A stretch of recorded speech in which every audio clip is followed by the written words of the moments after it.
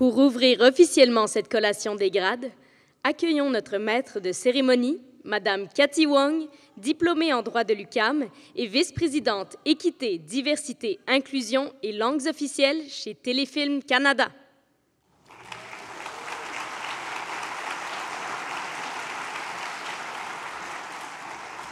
Mesdames et messieurs, bonsoir et bienvenue dans la magnifique salle Pierre Mercure du Centre Pierre Pilado. J'aurai le plaisir d'animer cette cérémonie de collation des grades de sciences politiques et de droit. Permettez-moi d'emblée de mentionner que nous sommes réunis aujourd'hui sur un territoire ancestral qui a longtemps été un lieu de vie, de rencontres et d'échanges entre les peuples autochtones et dont nous, dont nous souhaitons honorer la mémoire.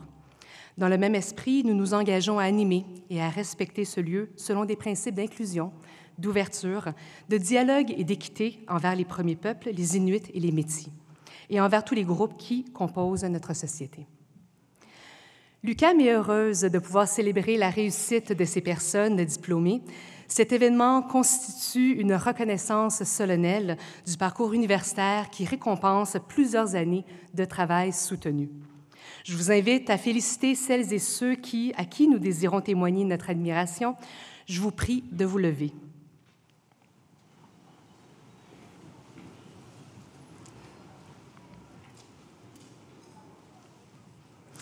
Mesdames et messieurs, accueillons nos personnes diplômées de 2024.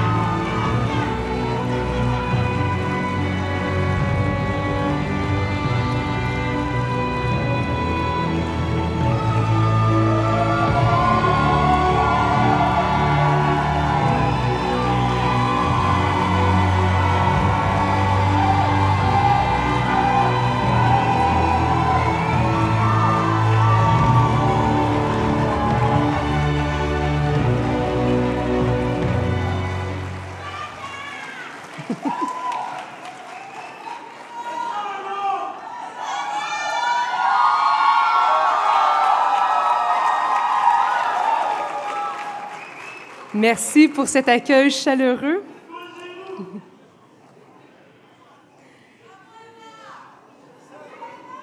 Et maintenant, accueillons le cortège d'honneur.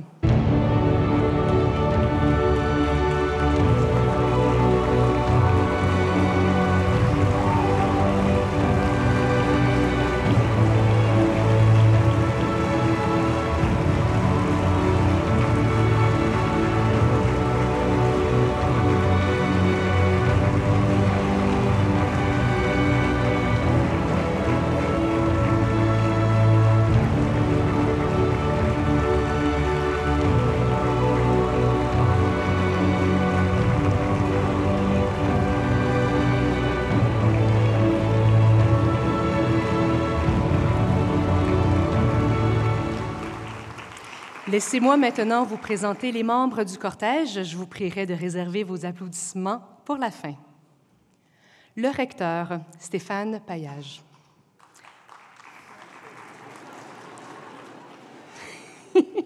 la doyenne, Rachel Chagnon. Euh, Gagnon. Chagnon. L'honorable Magali Lewis, juge au tribunal des droits de la personne. La militante autochtone, artiste et documentariste Hélène Gabriel. Le vice-recteur au système d'information, Louis-Sébastien Guimont. La vice-doyenne Hélène Piquet. La directrice des dossiers universitaires, Julie Frenette. La bâtonnière du Québec, Catherine Claveau.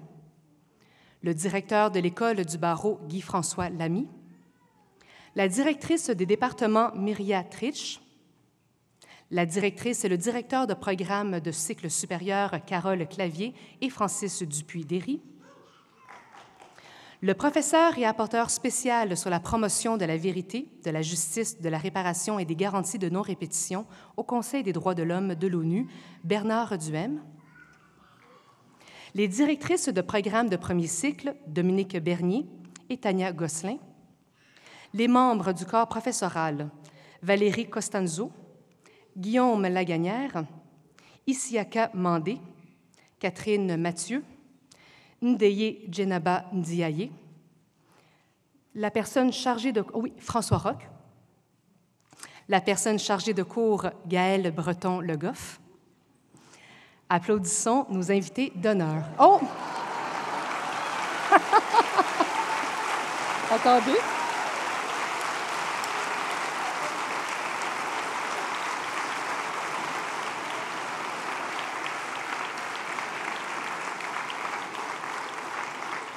Mesdames et messieurs, j'invite le recteur, M. Stéphane Paillage, à vous adresser la parole. Et je vous prie de bien vous asseoir.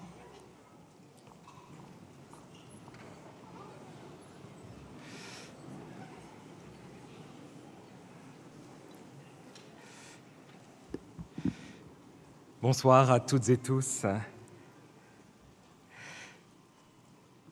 Distingués invités, chers amis, très très chers diplômés, bienvenue à votre collation des grades.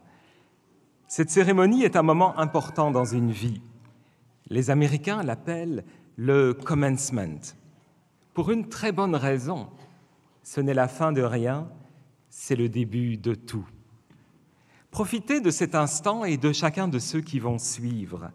Choisissez les combats qui vous feront vibrer Allez jusqu'au bout de vos rêves. La vie, vous le savez, est courte. Vivez-la comme votre projet le plus ambitieux. Ne laissez jamais la colère ou la frustration vous paralyser. La vie est bien trop précieuse pour se perdre dans de tels sentiments. Un journaliste demanda à Nelson Mandela, quand il sortit de prison, après pas moins de 27 années d'incarcération, Êtes-vous habité par la colère ou le besoin de vengeance? Il a répondu très simplement, Si je sortais d'ici avec de la colère ou la volonté de vengeance, je serais, pour le restant de mes jours, en prison. Chers diplômés, la journée, la soirée, devrais-je dire, la, la soirée d'aujourd'hui vous appartient. C'est vous que nous sommes venus honorer. En ce 8 juin 2024, nous célébrons votre réussite et tous les chemins qui s'ouvrent à vous. Ils sont aussi larges et aussi nombreux que vous le souhaitez. Vous avez les moyens de changer les comportements inefficaces autour de vous, faites-le. Vous avez les outils pour inventer un avenir meilleur, faites-le. Soyez des héros pour vos enfants, pour vos proches, pour vos amis, pour votre pays. Une autre vie commence ici et croyez-moi, il y en a une vie, même une très belle vie, après votre diplôme. Vous vous demandez peut-être pourquoi les toges sont de rigueur dans un moment comme celui-ci. Ce n'est pas parce que nous aimons la torture. Quoique, les toges sont là pour souligner le caractère sacré de ce moment et pour vous rappeler et pour nous rappeler de ne jamais, jamais faire de compromis avec l'excellence. Si vous aviez trouvé facile le chemin qui vous a mené à ce podium, il n'y aurait sans doute aucune fierté, il n'y aurait certainement aucune récompense. L'UCAM, dont j'ai le bonheur d'être le recteur, l'UCAM, votre université, n'est pas n'importe quelle université. Elle a contribué plus que toute autre université au développement du Québec au cours des cinq dernières décennies. Pour mesurer son impact sur la société québécoise, je ne vous donnerai qu'une seule, une seule statistique. En 55 ans d'histoire, l'UCAM compte plus de 300 000 diplômés. 305 000, pour être exact, avec vous ce soir. C'est en fait le même nombre que l'université McGill, mais l'université McGill l'a fait en 200 ans. Parfois, il m'arrive d'être impertinent, alors dans ces situations-là, j'ajoute, oui, mais en plus, les nôtres sont vivants.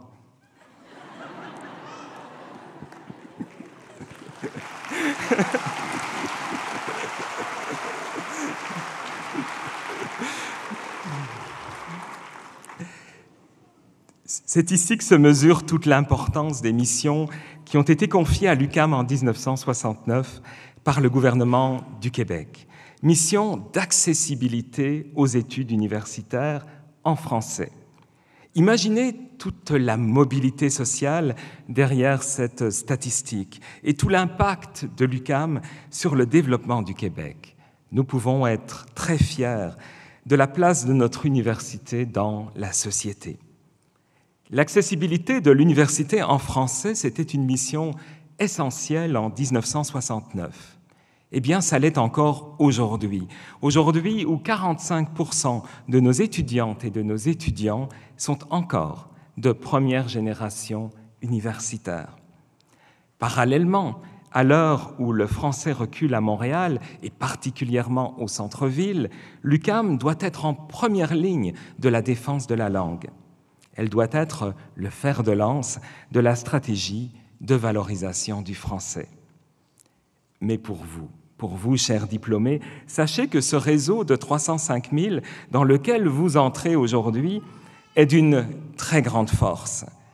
Soyez-y actifs. Assurez-vous de créer des liens avec vos collègues diplômés de la faculté de sciences politiques et de droit, mais aussi de toutes les autres facultés et de l'école des sciences de la gestion. Sans connexion, un réseau, aussi riche soit-il, est sans grand intérêt. Gardez donc contact avec le bureau des diplômés qui sera votre meilleure interface vers ce magnifique réseau. Diplômé, vous l'êtes aujourd'hui. En fait, vous le serez toute votre vie et vous ferez toujours partie de la grande communauté de l'UCAM. Vous ne le savez peut-être pas encore, mais vous êtes déjà tatoué quelque part de ce bleu royal qui constitue la couleur de l'UCAM. Chers diplômés, je suis fier de ce que vous avez accompli sur le chemin de ce podium. Votre doyenne, vos professeurs partagent cette fierté. Vos proches également, qui ont en plus partagé chacune des très très très très nombreuses émotions derrière ce diplôme. J'espère que vous serez toujours fiers de l'UCAM, comme l'UCAM aujourd'hui est fier de vous. Sur le chemin qui commence, n'hésitez jamais à rêver. Le monde manque cruellement de rêveurs. Le rêve est pour moi l'un des plus importants devoirs des citoyens. Mais bien sûr, ne vous arrêtez pas aux rêves. Faites en sorte que les meilleurs d'entre eux se réalisent. C'est la partie difficile, c'est la partie à laquelle vos études universitaires et toute la résilience que vous y avez développée vous ont préparé au mieux. Rêver mieux est un devoir, c'est aussi un privilège. C'est une porte vers la liberté et le titre d'un album de Daniel Bélanger. Daniel Bélanger, à qui nous avons remis il y a trois jours, dans cette même salle, un doctorat honorifique. Avant-hier, nous en avons remis un autre à un homme fascinant, Charles Tisser, le plus grand communicateur scientifique au pays. Hier soir, nous honorions Alexandre Lheureux, diplômé de l'ESG et responsable de la plus grande firme de génie conseil du monde. Les trois nous ont parlé de leur parcours loin d'être linéaire et de l'importance du rêve dans leur vie. Ce soir, ce soir, nous honorons une grande dame, cinéaste de l'invisible, Madame Hélène Gabriel. Elle vous sera présentée dans, dans un instant. Chers diplômés, je vous souhaite le succès, je vous souhaite le bonheur, je vous souhaite de ne jamais, jamais vous ennuyer. Si cela devait arriver, voyez l'ennui comme un signe qu'il est peut-être temps de passer à autre chose. Mais pour l'heure, je vais conclure ce discours déjà trop long par le seul mot qui convienne. Bravo. Merci.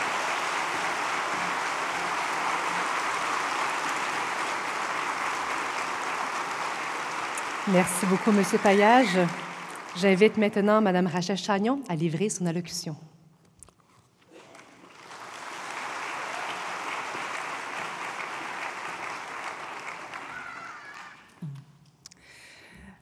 Monsieur le recteur, chers invités de marque, chers parents et amis de nos diplômés, chers collègues, très chers diplômés, bonsoir.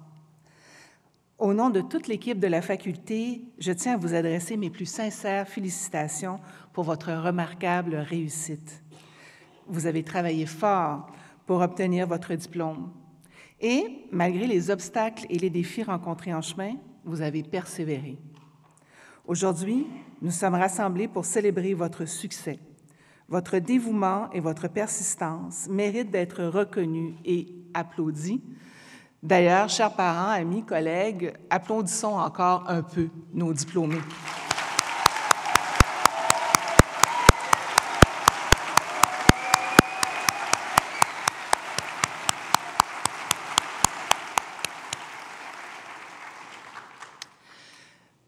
Notre faculté, votre faculté, se distingue en Amérique du Nord par l'intégration unique du droit et de la science politique, enrichissant notre perspective sur les enjeux mondiaux.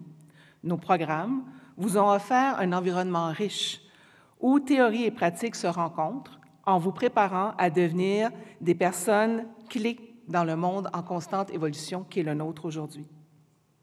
Plus largement, notre université est une institution citoyenne qui n'hésite pas à ouvrir le débat et à poser les questions essentielles au niveau social, politique et sur les droits de la personne.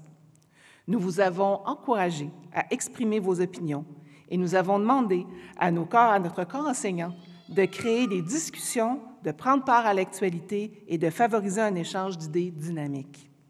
Par votre engagement académique, vous avez contribué à faire émerger de nouvelles idées, à favoriser des collaborations et à valoriser la contribution de la recherche universitaire pour l'avancement de la société. Et grâce à vous, notre université est solidement ancrée dans son milieu et à l'avant-garde des problématiques actuelles et émergentes qu'elle s'applique à résoudre. Votre passage à l'UCAM vous a intégré à une communauté dynamique, connue pour son engagement et son ouverture. Au cours de ces années, vous avez eu la chance, et nous avons eu la chance, de côtoyer des personnes passionnées, animées par un désir d'apprendre et de contribuer positivement au monde qui nous entoure. Les défis contemporains, qu'ils soient environnementaux, sociaux, juridiques ou politiques, sont nombreux et aujourd'hui fort complexes. Il est impératif que vous utilisiez les compétences et les connaissances que vous avez acquis à l'UCAM pour influencer positivement le monde. Votre faculté vous a équipé pour cela et je suis confiante que vous saurez faire la différence dans votre environnement de travail, dans votre entourage et dans la société en général. Et pour vous inspirer en ce sens, soulignons la présence de Mme Hélène Gabriel, à qui nous remettons ce soir un doctorat honoris causa. Son parcours exceptionnel est un exemple que je vous engage à suivre. Vous êtes désormais des personnes qui vont porter le nom de l'UCAM partout où elles iront et partout dans ce qu'elles feront. N'oubliez pas que l'UCAM est votre maison. Que vous souhaitiez contribuer à débattre de grands enjeux, poursuivre vos études, vous engager auprès de votre conseil des diplômés ou soutenir la Fondation UCAM, nos portes vous seront toujours ouvertes. Nous espérons que vous resterez connectés et actifs au sein de notre communauté. Nous sommes là pour vous soutenir, que ce soit par du mentorat, du réseautage, des activités diverses. Vos succès et vos réalisations nous inspirent et nous réjouissent. L'équipe de la faculté et moi-même espérons vous voir souvent à l'UCAM. Au nom de la faculté, je vous souhaite le meilleur dans vos carrières, mais surtout dans vos vies personnelles. Et je vous le dis encore une fois et avec une très, très grande fierté, félicitations et merci.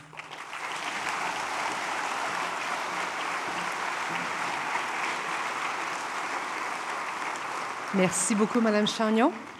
L'UCAM est fière de décerner aujourd'hui un doctorat honoris causa à Madame Hélène Gabriel. Madame Gabriel, veuillez vous avancer au centre de la scène pour recevoir votre hommage.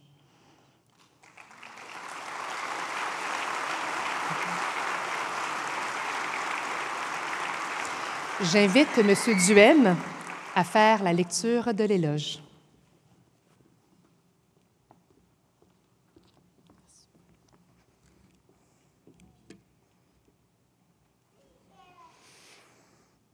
degunum veraduns, gazi zaguas.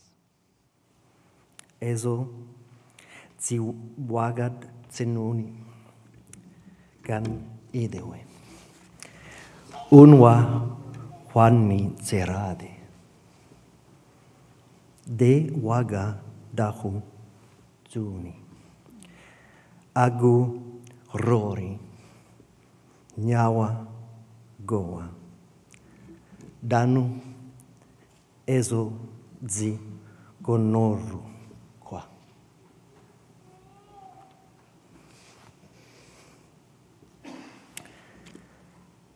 L'Université du Québec à Montréal rend aujourd'hui hommage à Gadzi Zaguas, Hélène Gabriel, artiste et militante mohawk, en lui attribuant le titre de docteur honoris causa par décision de son conseil d'administration et sur la recommandation de sa faculté de sciences politiques et de droit.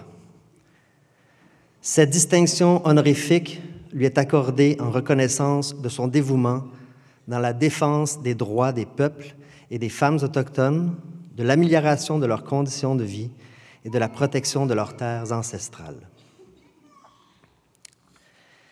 Née en 1959 dans le clan de la Tortue dans la communauté de Kanizadage, Hélène Gabriel mène depuis bientôt 35 ans un engagement artistique, féministe et militant fécond, marquée par la lutte pour la justice sociale. Par ses prises de parole et ses œuvres, elle sensibilise le grand public et les gouvernements aux enjeux que vivent les peuples autochtones au Canada. Bachelière en beaux-arts de l'Université Concordia et diplômée du New York Film Academy en réalisation de films documentaires. Hélène Gabriel apparaît sur la scène publique en 1990, alors qu'elle est porte-parole du mouvement de résistance contre le projet d'agrandissement d'un terrain de golf sur les terres ancestrales de sa communauté. Cet événement, qui deviendra de triste mémoire la crise d'Oka, pose l'un des premiers jalons de son activisme pour l'autodétermination des peuples autochtones. Elle signe d'ailleurs When the Pine Needles Fall, un récit personnel de cet important acte de résistance qui paraîtra en septembre aux éditions Between the Lines. Chère Hélène Gabriel, votre parcours est une succession d'initiatives pour faire valoir les droits et la culture des peuples autochtones. Déterminé et passionné, vous vous faites notamment entendre à la Chambre des communes, à l'Assemblée nationale du Québec, à la Commission interaméricaine des droits de l'homme et à l'instance permanente des Nations unies sur les peuples autochtones. Comme présidente de Femmes autochtones du Québec, de 2004 à 2010, vous œuvrez sans relâche en prenant la parole dans l'espace public et en menant des actions militantes pour dénoncer le sexisme de la loi sur les Indiens. Grâce à votre combat, celle-ci sera modifiée, corrigeant ainsi certaines des inéquités fondées sur le genre. Hélène Gabriel joue un rôle central dans l'élaboration du projet Wasaya, qui vise à mieux informer et outiller les femmes autochtones sur leurs droits et les recours judiciaires possibles. Réalisé en partenariat avec le service aux collectivités de l'UCAM, il permet d'entraîner des formatrices dans toutes les nations autochtones du Québec et continue à réduire la marginalisation des femmes dans ces communautés. Jamais elle n'hésite à défendre ses idéaux et à amplifier la voix des personnes qui demeurent dans l'ombre. Dénonçant très tôt les multiples disparitions des femmes autochtones, elle est de toutes les tribunes pour lutter contre l'impunité qui perdure. La préservation des langues autochtones figure également parmi les causes que la militante embrasse. Permettez-moi de vous citer, chère Hélène Gabriel, lors de la prise de parole que vous avez faite en 2019 à la Commission canadienne pour l'UNESCO. Nos langues nous, apprennent à enrichir notre relation à la Terre. Elles sont le véhicule historique des mythes fondateurs et des légendes qui nous, qui nous servent de boussole morale. Sans nos langues, sans nos territoires, notre, nos histoires, nous sommes vides, assimilés. Depuis longtemps, cette conviction anime vos activités au sein de l'Association pour la préservation de la langue Mohawk. En 2012, lors des travaux d'un organe consultatif du Conseil des droits de l'homme de l'ONU, vous vous prononciez déjà sur le rôle des langues et de la culture dans la protection et la promotion des droits et de l'identité des peuples autochtones. Pour Hélène Gabriel, laisser un héritage positif aux générations futures s'inscrit dans les obligations de la grande loi de la paix, la Constitution des peuples iroquois. Le lien est composé, sien pardon, est composé d'un bon nombre de récompenses, notamment le prix de la Journée internationale des femmes du barreau du Québec, le Golden Eagle Award de l'Association des femmes autochtones du Canada et le Digu Zase Women for Peace Award de l'organisme américain Indigenous Women's Initiative. En 2024, elle marque l'histoire en devenant la première lauréate autochtone du Grand Prix du Conseil des arts de Montréal.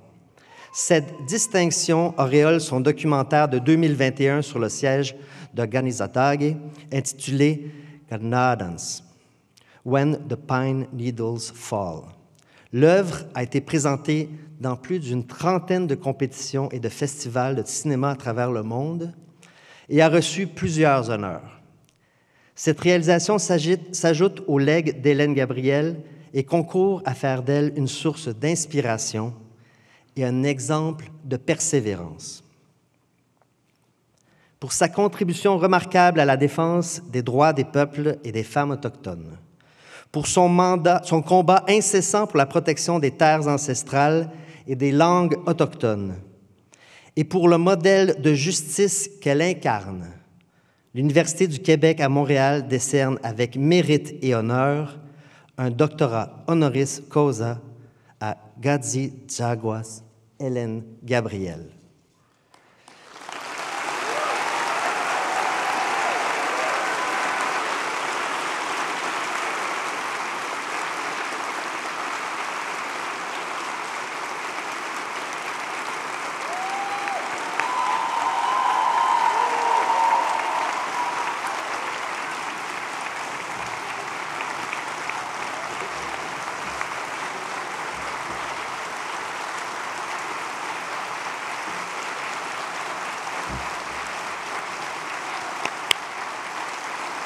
Merci beaucoup, Monsieur Duhem.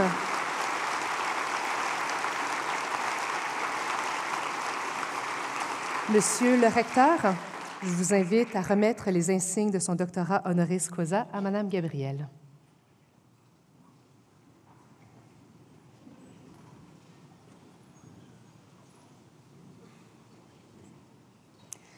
J'invite la doyenne ainsi que Monsieur Duhem à se joindre à la photo.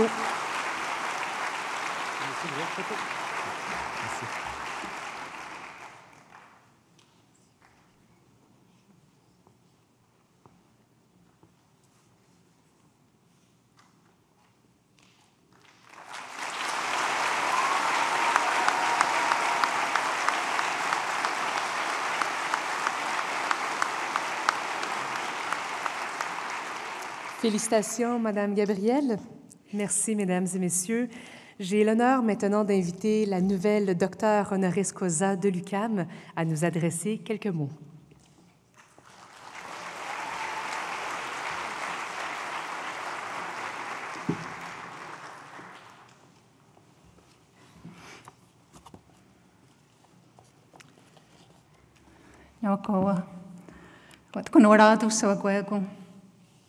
Na.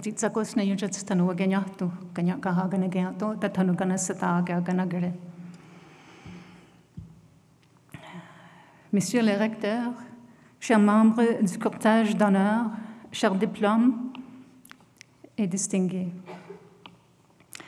Parler notre langue est une forme de résistance. C'est pourquoi il est important de moi de commencer mon discours en Ganyakaha. Je tiens à remercier l'Université du Québec à Montréal pour honneur qu'elle me fait aujourd'hui.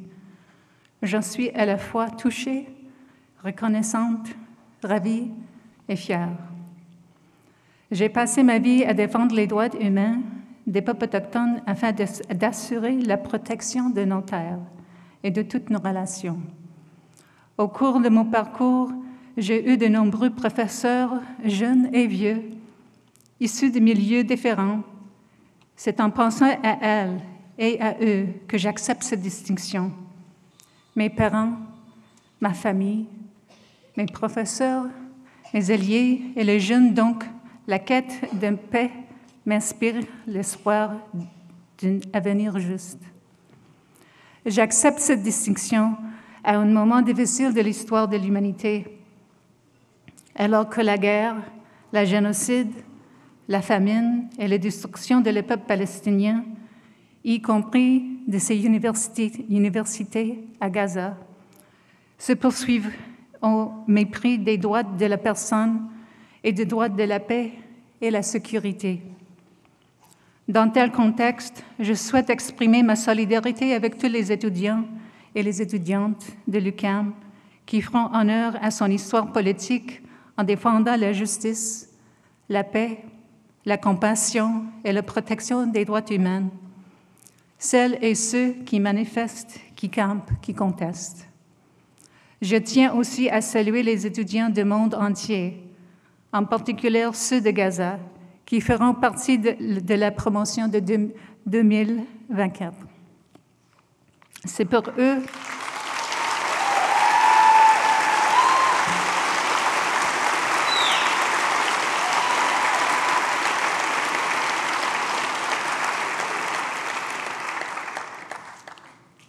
C'est pour eux que se poursuit notre travail en faveur de la justice pour la Palestine.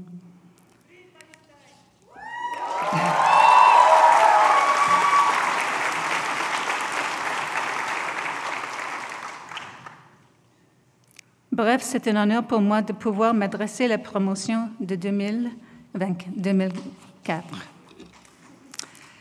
L'histoire de l'éducation occidentale des peuples autochtones de, l'île de la Tortue était difficile.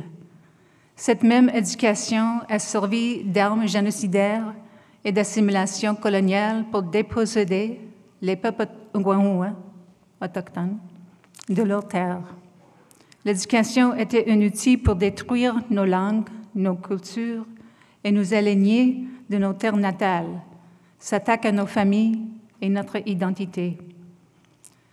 Les pensionnats indiens, qu'on appelle toujours écoles en anglais, ont été conçus pour créer une main-d'œuvre bon marché dans les usines et utilisant les peuples autochtones.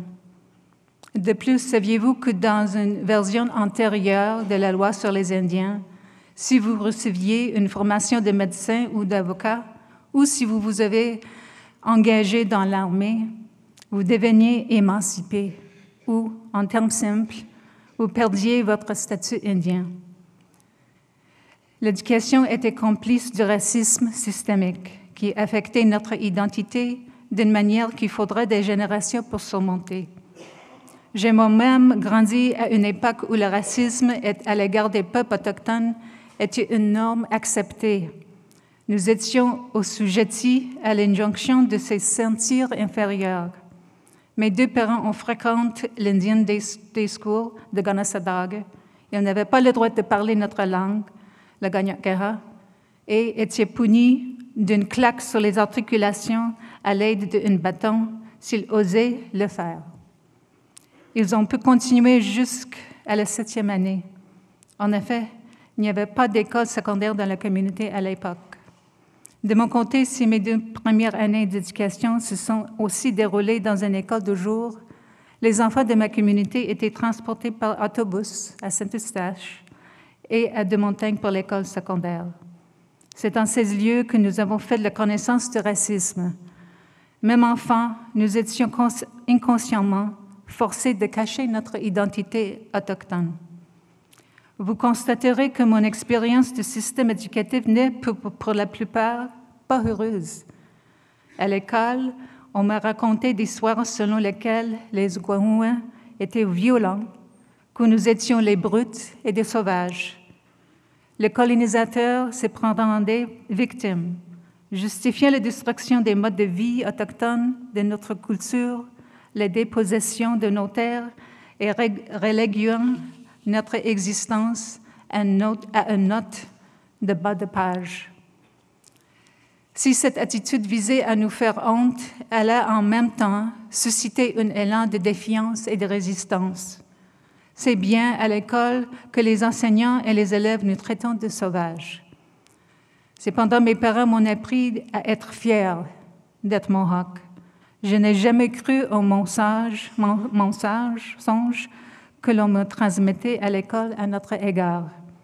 À leur côté, j'ai grandi à et dans une ranch de chevaux, avec des beaux champs comme terrain de jeu. J'ai attendu trois langues, ma première étant le Ganyakera. Encouragée par mes parents, j'ai commencé mon parcours d'artiste dès mon plus jeune âge. Je leur suis reconnaissante de leur soutien et de leur encouragement. L'art était une source de réconfort et de paix, mon échappatoire du monde, tout comme la magnifique forêt des pins que les habitants de ma communauté ont défendue en 1990. J'ai toujours pensé que l'art est un outil pédagogique important pour se réapproprier le récit de l'histoire des peuples autochtones. Nos réalités et pour apprendre aux gens qui nous sommes en tant que nous, les peuples, en tant qu'êtres humains. Quoi qu'il en soit aujourd'hui, certaines choses ont changé. L'éducation est devenue un outil de décolonisation pour les peuples autochtones, une sorte d'assimilation inversée. Aujourd'hui, un des plus grands adversaires de la justice et de la production de la connaissance décoloniale a toujours été le silence. Les extrémistes et fanatiques qui ne pensent qu'au profit et l'enrichissement imposent le silence aux gens en utilisant des menaces de violence pour maintenir le statu quo de la colonisation. Déclarer qu'entendre que les peuples autochtones nous voulons récupérer notre terre est la preuve que la lutte pour la justice des peuples autochtones est toujours justifiée.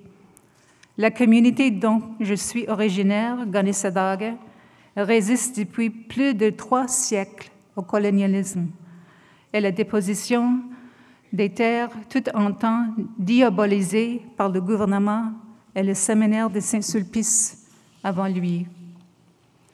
À Ganisadaga, le silence, le silence est manipulé par la coercition des gouvernements et de leur autorité pour sauver la face. Des coups de faux quotidiens, des courses de voitures sur notre route et les crimes organisés qui s'empèrent de nos communautés alors que tous les niveaux de gouvernement restent silencieux, à tel point que je ne reconnais pas plus la communauté dans laquelle j'ai grandi. En cas d'injustice, le silence engendre la peur, la discrimination, et menace la sécurité à tout. Lorsque je repense à tous les mouvements de résistance autochtone qui m'ont inspiré, je pense à mes ancêtres, dont le travail de protection des droits de nos peuples me sert aujourd'hui. Leur courage et leur ténacité sont inscrits dans notre ADN, et ce sont les luttes du passé qui, ont, façonné mon action. Les défenseurs de la terre, qu'il s'agisse du mouvement amérindien, de la résistance Mohawk en 1990 à Ganasadaga et Ganawaga, de Ipperwash, de Gustafson Lake, de Idle No More, ou des nombreux rapports et commissions documentant l'histoire génocidaire du Canada, signifiait que les peuples autochtones ne peuvent plus se contenter d'être une note de bas de page dans l'histoire. Ces mouvements de résistance qui existent depuis Contact on est moins prospère face au projet colonial en cours sur l'île de la Tortue. Le 13 septembre 2007, l'Assemblée générale des Nations unies a adopté la Déclaration des Nations unies pour les droits des peuples autochtones. Il s'agit d'une étape importante dans la protection et la promotion des droits des peuples autochtones qui constituait une reconnaissance formelle à nos droits inhérents et l'autodétermination. C'est en partie grâce au travail acharné des alliés, comme mon bon ami, le professeur Bernard Duhem, qui ont soutenu la justice pour les peuples autochtones, que nos droits humains ont été reconnus et qu'ils sont en constante évolution. Si l'histoire coloniale du Canada été révélée, le doute est loin d'être terminé. La paix ne consiste, pas seulement à mettre à fin la violence, mais aussi à veiller à ce que tous les peuples épanouissent et comme le déclarait la législation sur les droits de l'homme, les droits fondamentaux de la personne dans la dignité et la valeur de la personne humaine. Aux despotes et aux politiciens qui se concentrent uniquement sur les droits économiques la Déclaration universelle des droits humains, dans son paragraphe 3 du préambule, déclare Considérant qu'il est essentiel d'assurer le respect des droits de la personne et des libertés fondamentales, considérant qu'il est essentiel pour les personnes ne soient pas contraintes en suprême recours à la révolte contre la tyrannie et l'oppression que les droits de la personne soient protégés par un régime de droit. L'histoire de Haga, le peuple de la Maison Longue, est celle d'une époque où nos peuples étaient une guerre les unes contre les autres. Daganawide, l'artisan de la paix, a entrepris un voyage pour ramener la paix dans nos nations. Il a fallu de nombreuses années pour que cinq puis six nations soient soumises à Gayanaragoa, la grande loi de la paix. La première personne à accepter la grande loi de la paix fut Jagunsaze, une femme. Et la première communauté d'accepter la paix fut Ganesadage. Notre constitution ancienne que la paix ne peut être atteinte lorsque les gens vivent dans la peur et la menace de la violence. Elle exige amour, compassion, force, courage et respect. J'aimerais dire à la promotion de 2024 de rester fidèle à elle-même, d'être gentille, respectueuse et compatissante. La force vient de l'intérieur. Il ne s'agit pas de force physique, mais la capacité à s'asseoir dans des conversations difficiles, à se comprendre mutuellement avec respect et à savoir que le travail que vous faites aujourd'hui aura un impact sur cette génération à partir de maintenant. On a dit que les jeunes aujourd'hui sont les leaders de demain, mais c'est faux. Vous êtes le leader d'aujourd'hui et votre engagement en faveur de la paix et de la justice a illuminé le monde. Alors que vous entamez ce nouveau voyage dans votre jeune vie, je vous demande pour poursuivre la lutte pour la justice. Cette quête juste est un effort de toute envie, de toute une vie. C'est une mode de vie. Ne laissez jamais les fauteurs de guerre et les despotes vous réduire au silence. Les peuples autochtones ont été patients et j'espère que la justice pour tous sera rendue dans mon vivant. Si ce n'est pas le cas, je peux partir en toute sécurité. Sache que l'avenir est entre des, des bonnes mains avec les dirigeants d'aujourd'hui. Le monde est plus brillant grâce à vous tous, aujourd'hui et pour toujours. Skana, je vous souhaite à tous et tous la paix. Merci encore, Watkunwaradu, l'Université de, de Québec à Montréal, pour cette grande honneur. Ça m'a touché beaucoup. Et je vous souhaite la paix aussi. Je, voudrais dire une chose peut-être un, peu controversiale, mais je pensais à tout le monde qui souffre déçu la guerre. Vivre la Palestine libre. Merci beaucoup.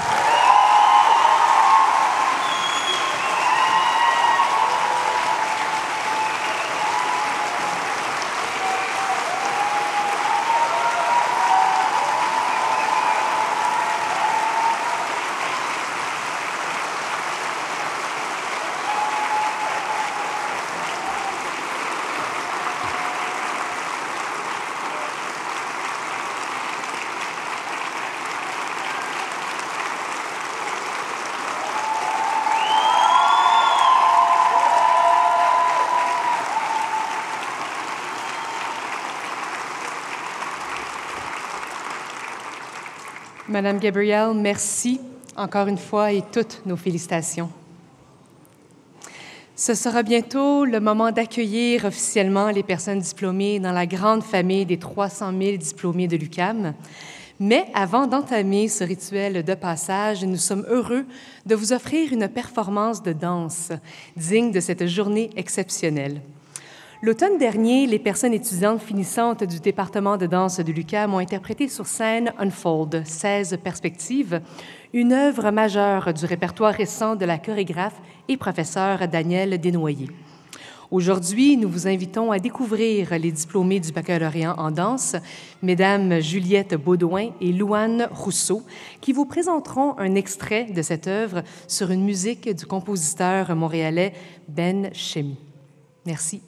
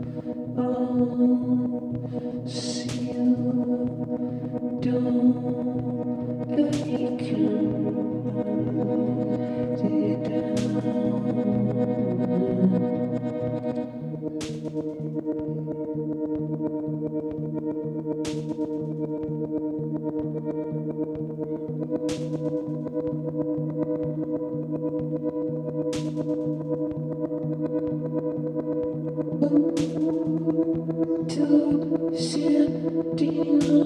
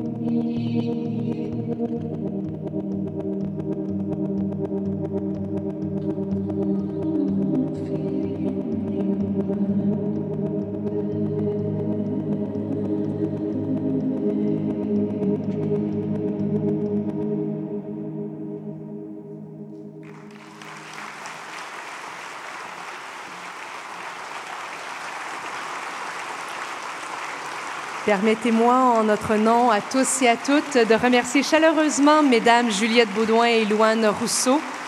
Nous leur souhaitons tout le succès mérité dans leur carrière.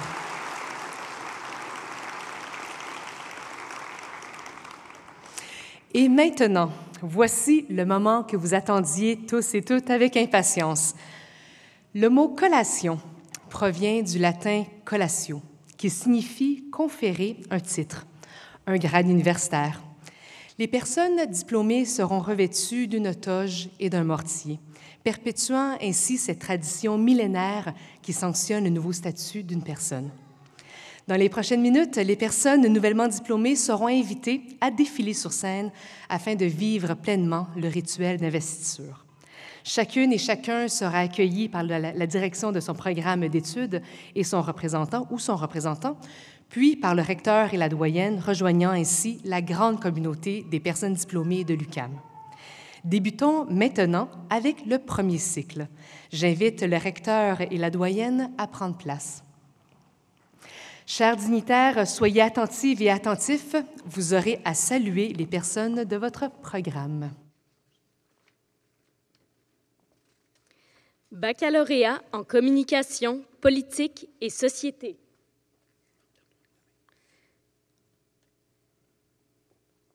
Marc-Antoine Lemay.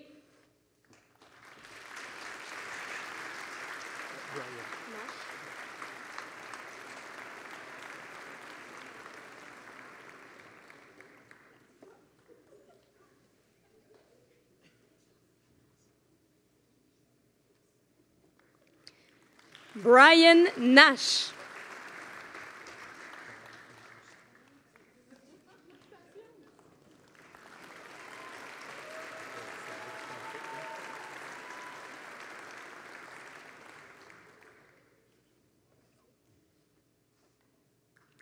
et Carl Andrew Stewart.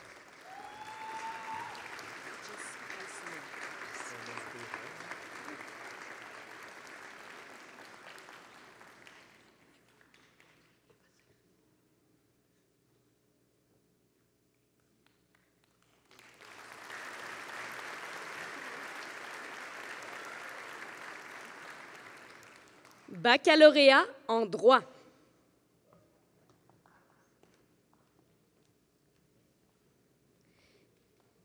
Jessie Alciné.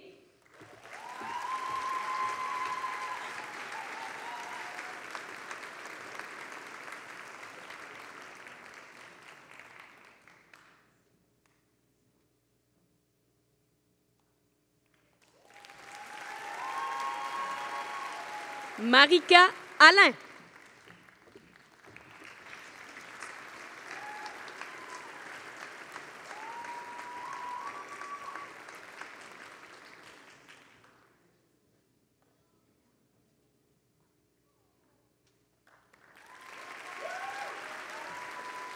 Marie-Félix Allard.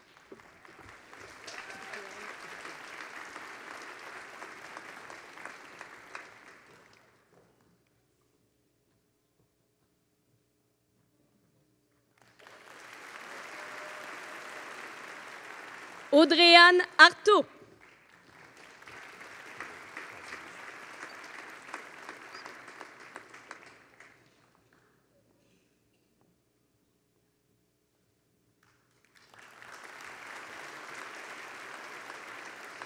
Philippe Azouz.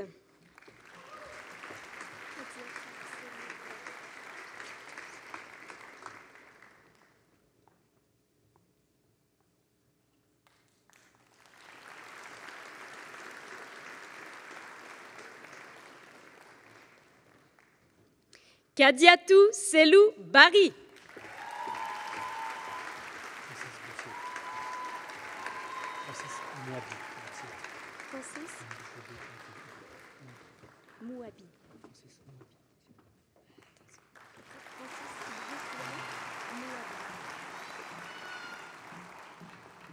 Francis Mouabi Boutillette.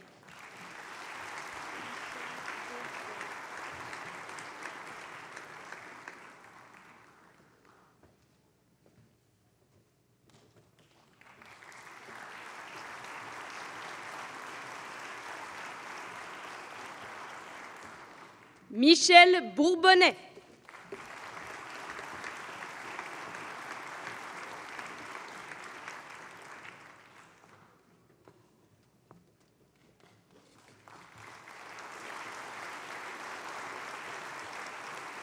Anna Brad.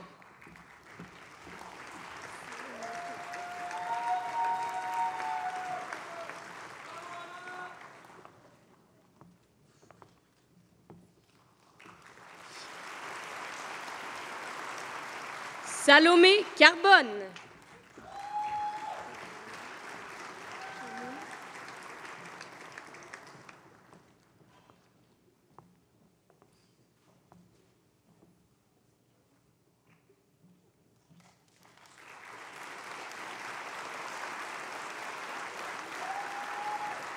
Evaluna Chamoun.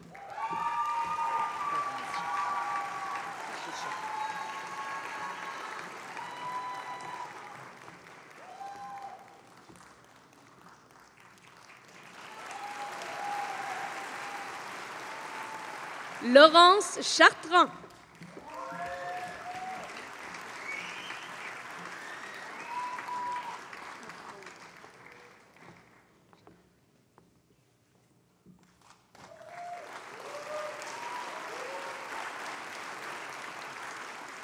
Nada Charaou.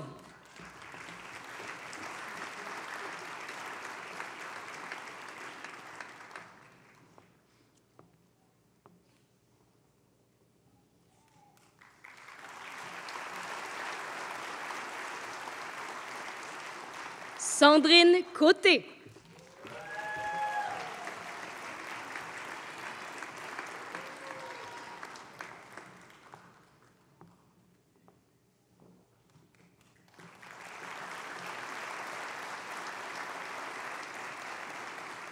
Camille Curotte.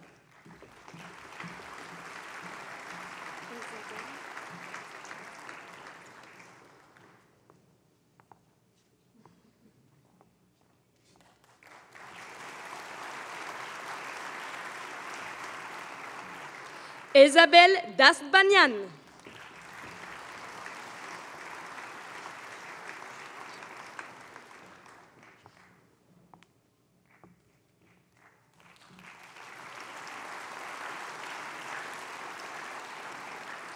Julie Desjardins.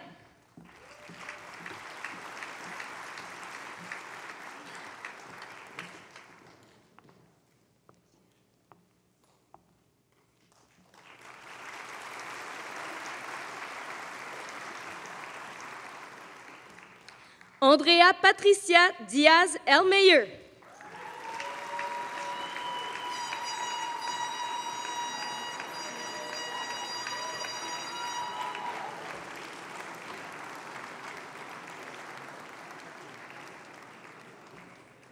Daphné Ducharme.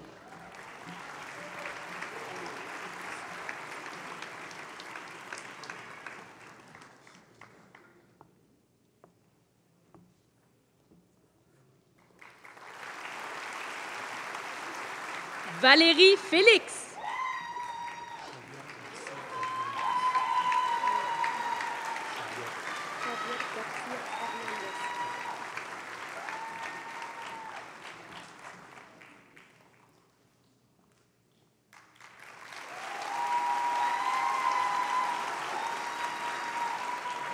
Javier García Hernández.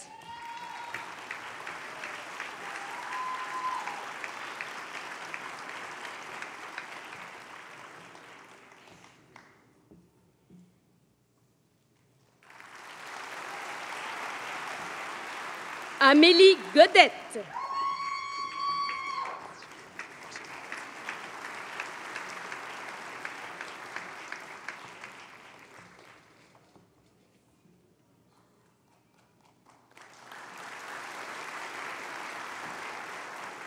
Benjamin Gauthier.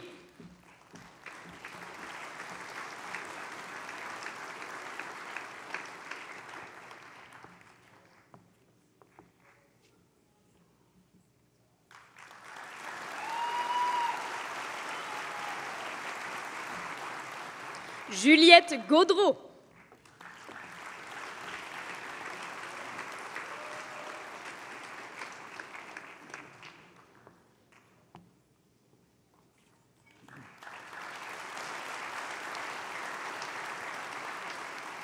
Caroline Genet.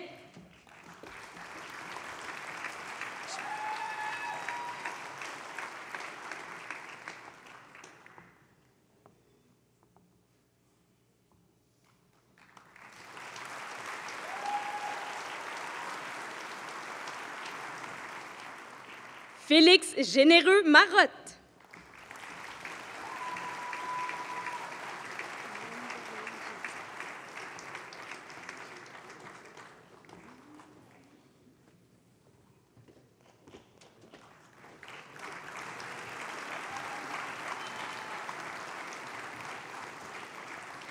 Menderlin Gilsin.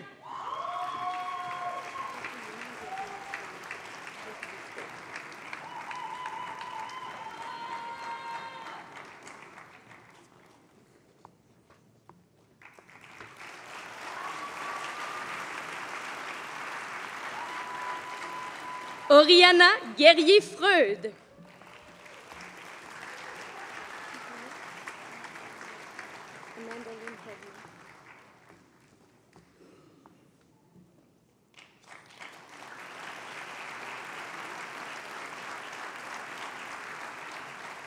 Amanda Lynn Herdman.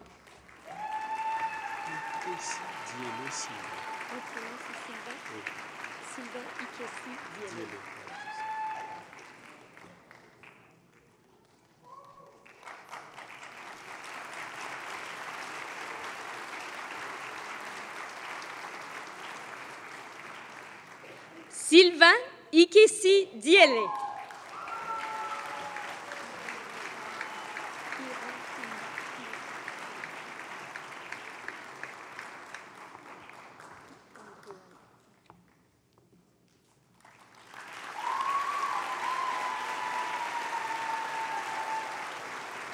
Andréana Irankunda.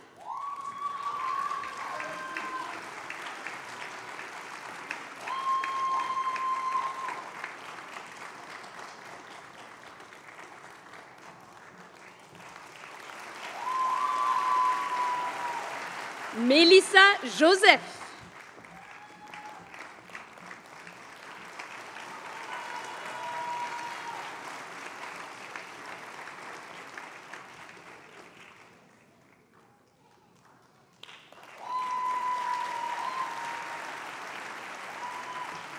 Mégane Labbé.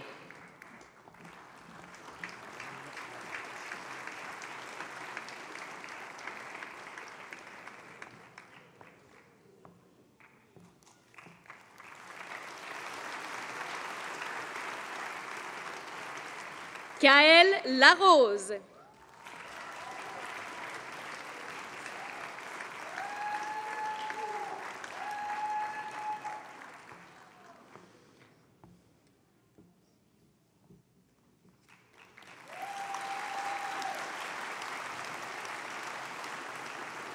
Océane Lavallée.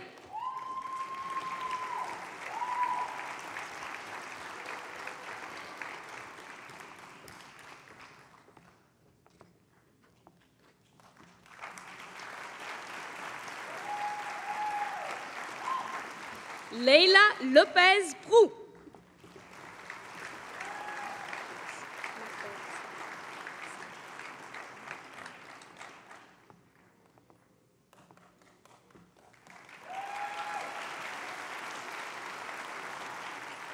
Myriam Maerzi.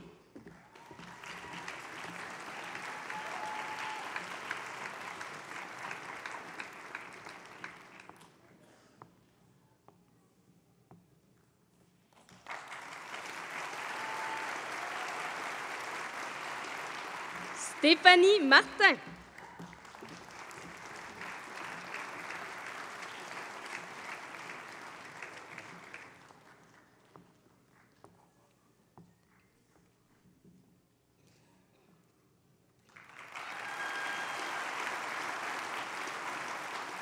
Maria Valentina Narvaez Martin.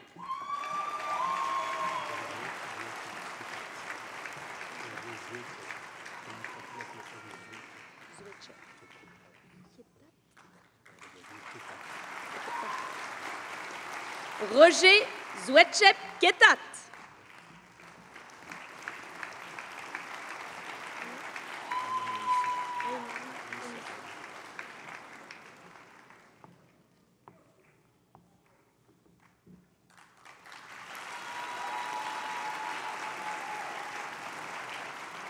Ayman Unissi.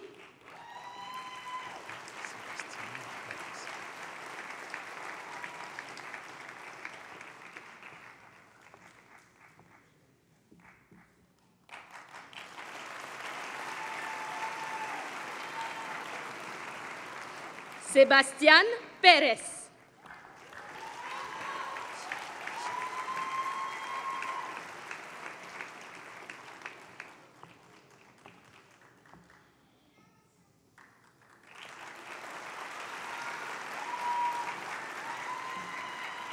Juliette Pigeon.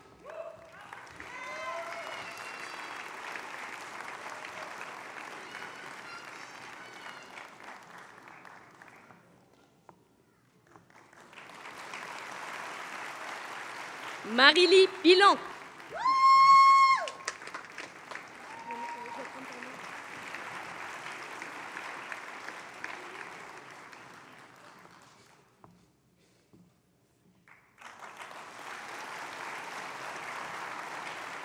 Audrey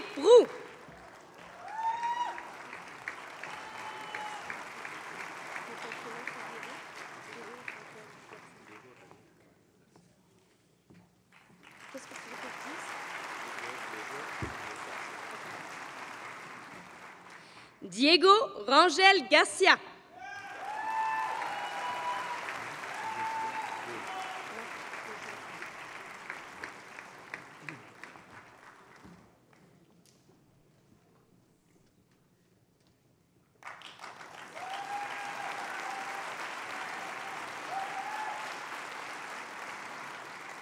Marc Réjouis 2.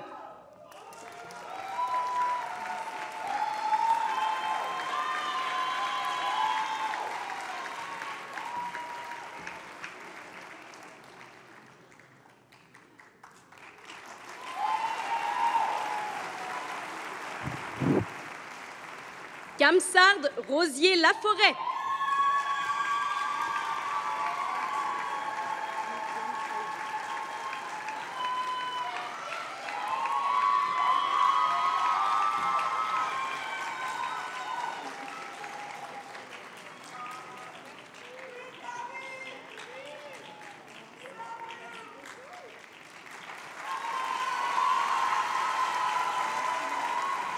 Mariem Saoudi.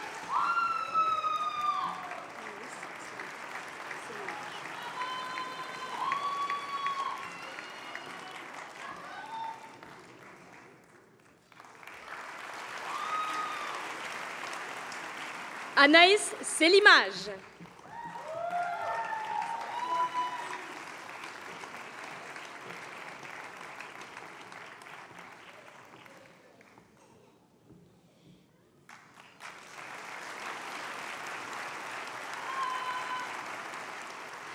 Alexandre Trudeau.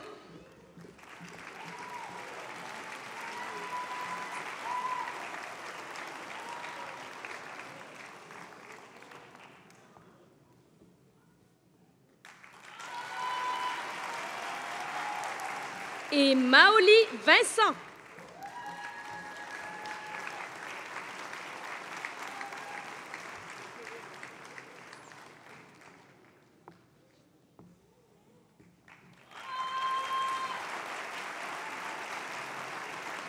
Baccalauréat en relations internationales et droit international.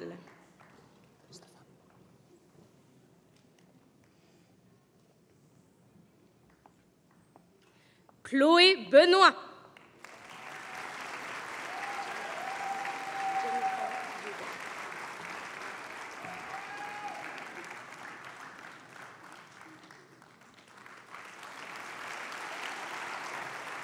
Jennifer Bubar.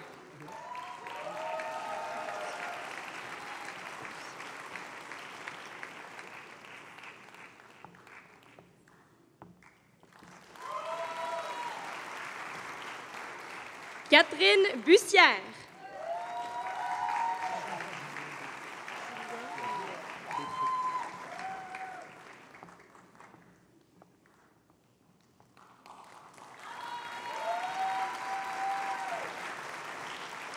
Julien Manuel Després.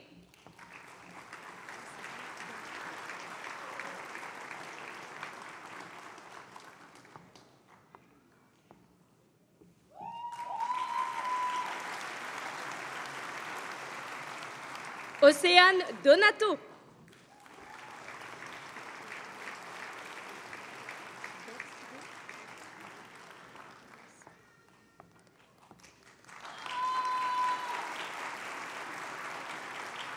Daeva Adassa Dorsiné.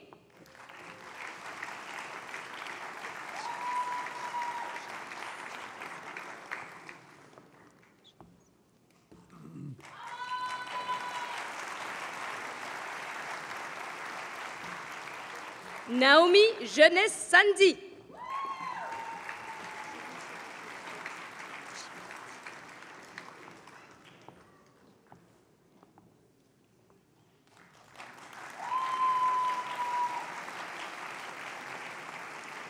Julie Girard Ochipenti.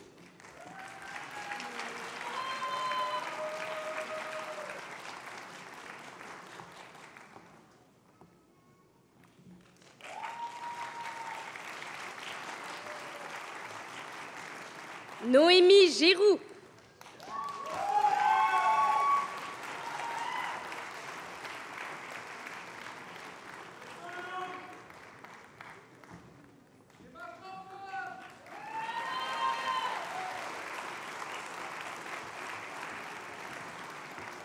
Anne Guérin-Lévesque.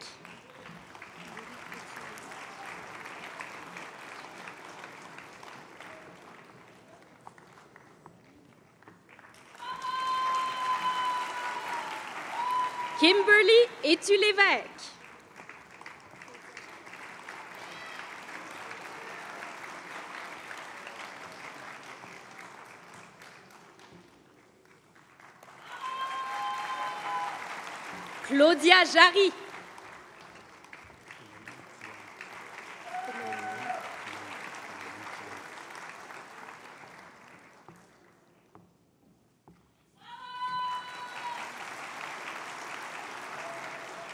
Phénomène Kiangi.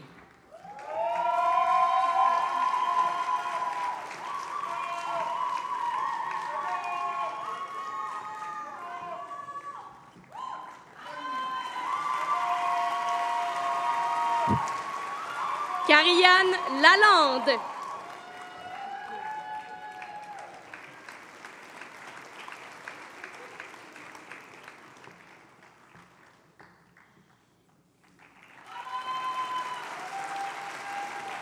Coralie Langlois.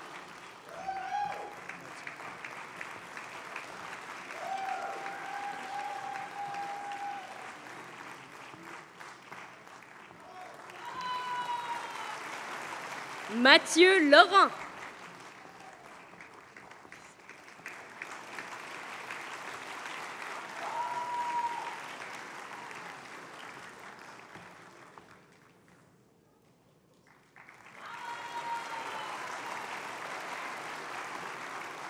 Alizé L'Homme.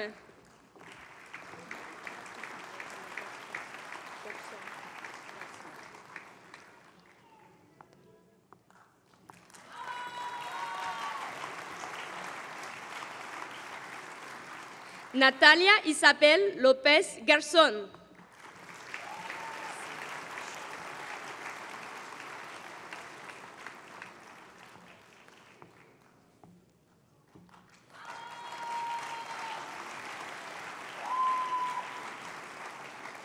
Sandrine Michaud.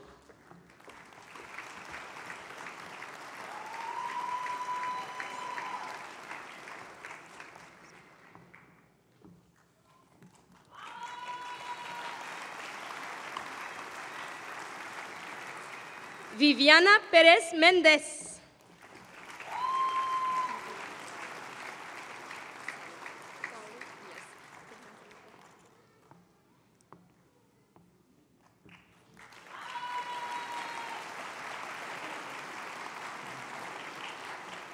Irina Salo.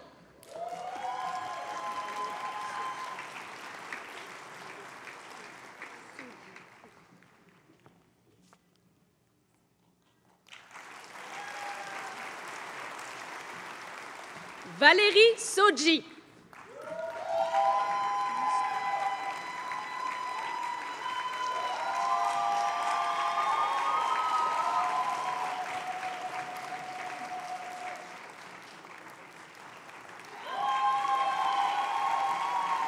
Daphne Sterling.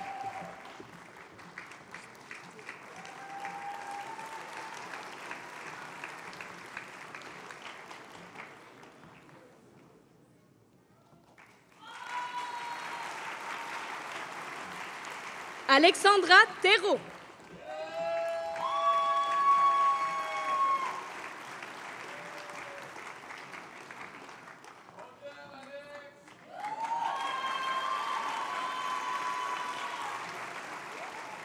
Alicia Tintelin.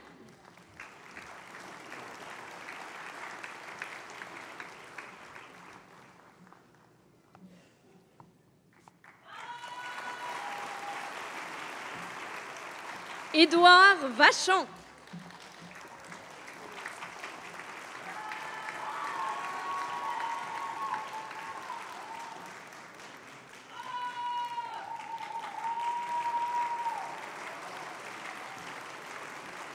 et Léa Zaro.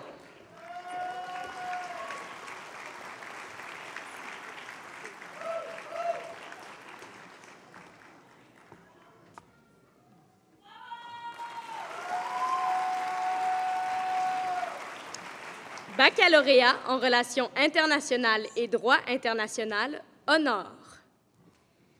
Zineb Argoub.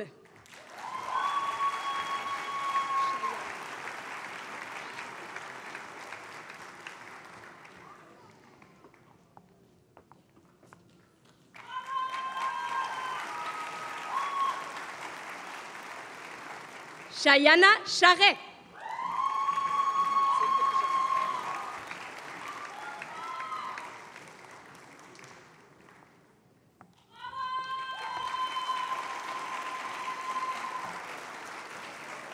Mathilde Germain.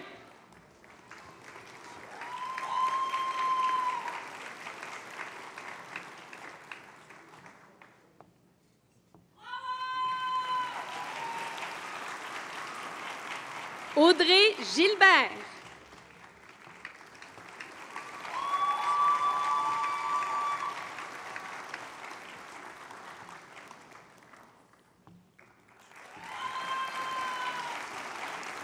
Et Romane Vachon.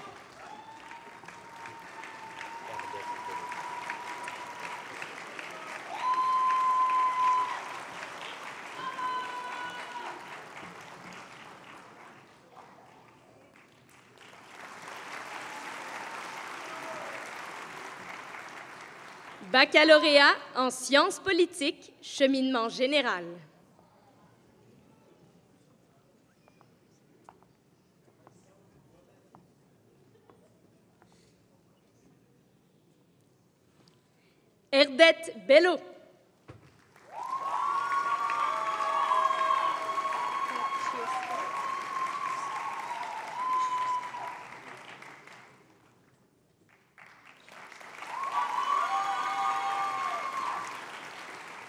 Baccalauréat en sciences politiques, administration publique et politique publique. Katioska Ambroise.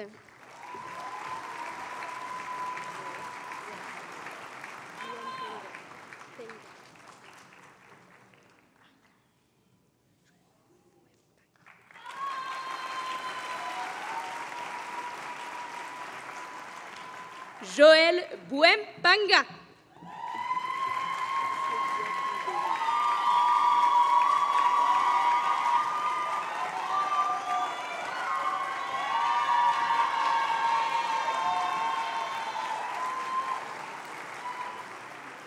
Claudia Gumbello.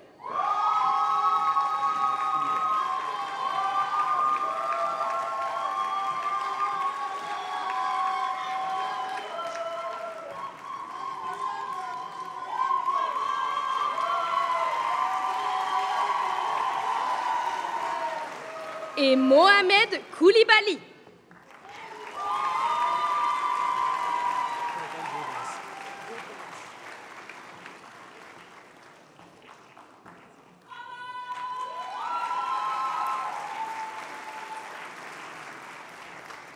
Baccalauréat en sciences politiques, analyse politique.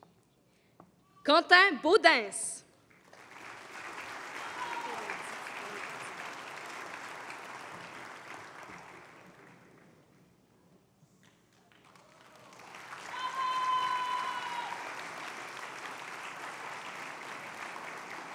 Élodie Dupont-Nardini.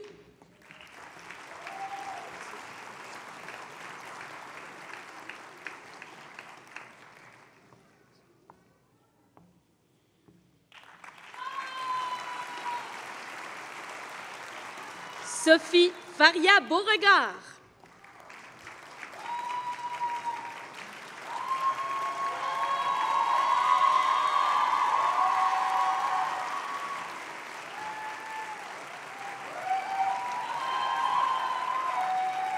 Gabriel Papin.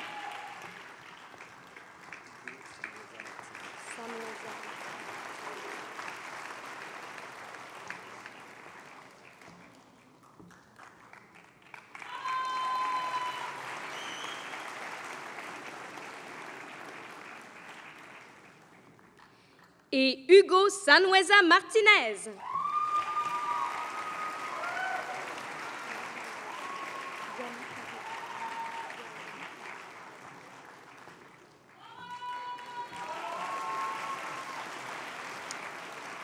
Baccalauréat en sciences politiques, relations internationales. Yali Carla Adima.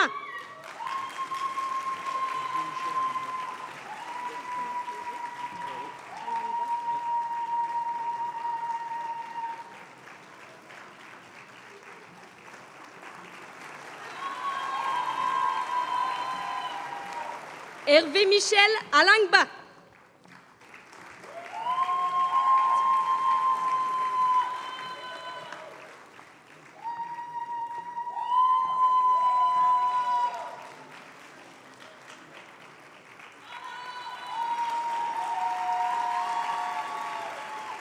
Fatima Badran.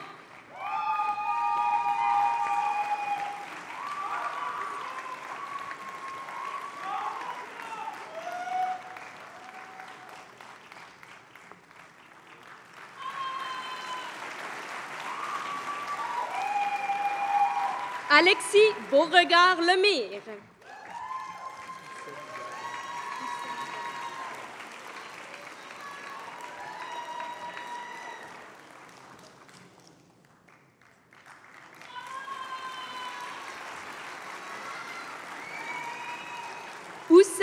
Ben Ahmed.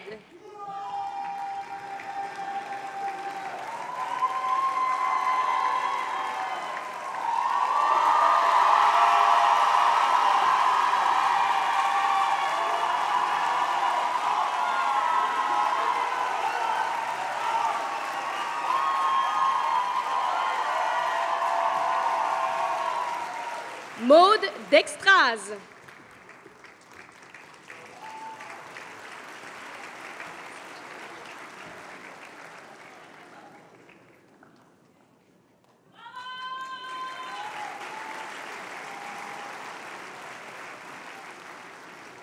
Barakissa Jamilatou Diallo.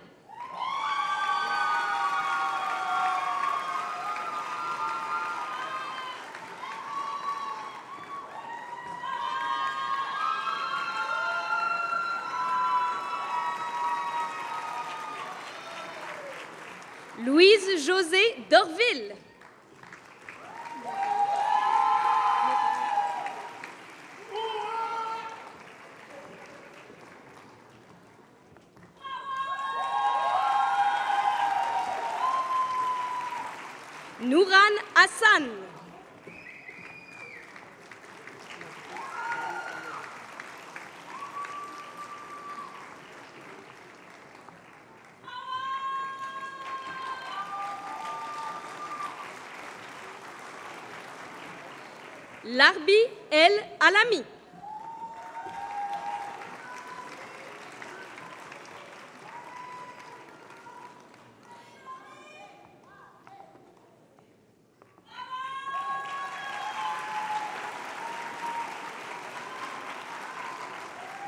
Christelle Fares.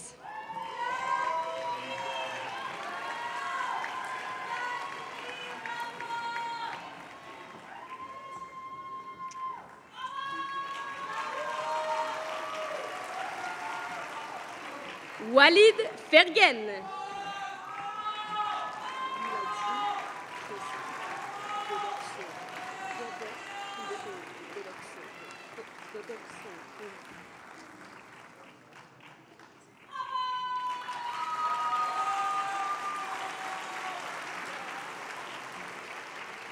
Wiladine Cressa Godok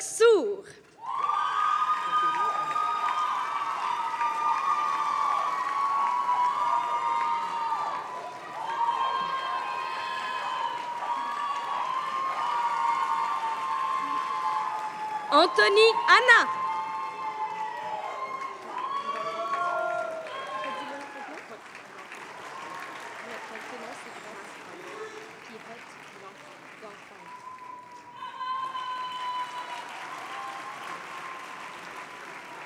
Grâce Raissa Hot Gangfang.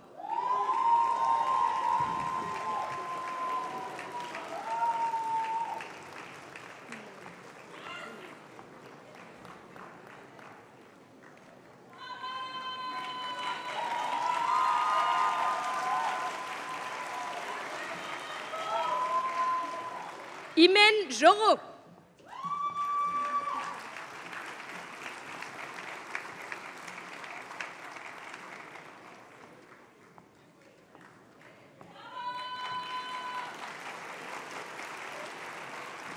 Élise Cachalet.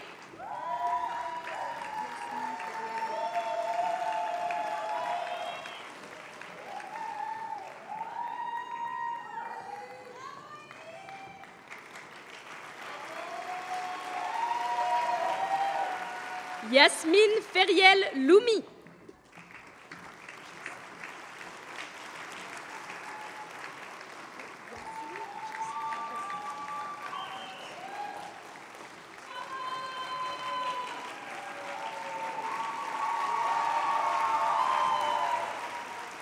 Jassim Magyouni.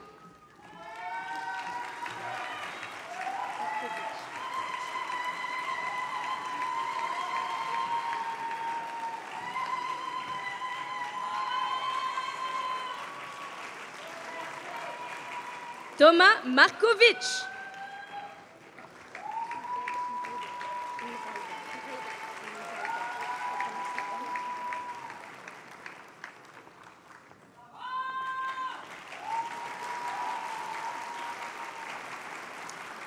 Rabeb Mraida.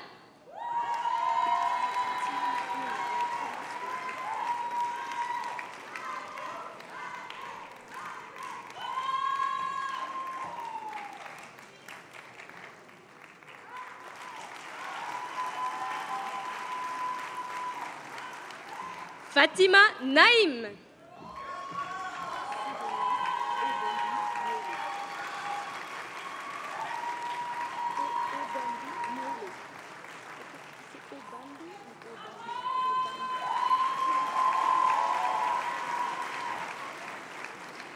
Sirena Obambi Muele.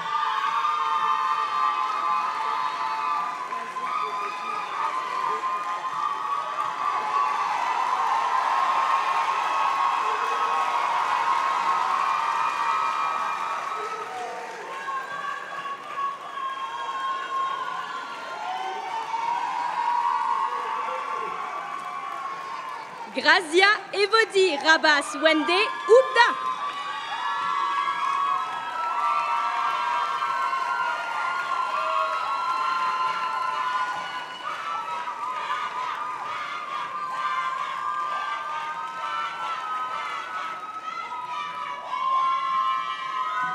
Gabriel Roson.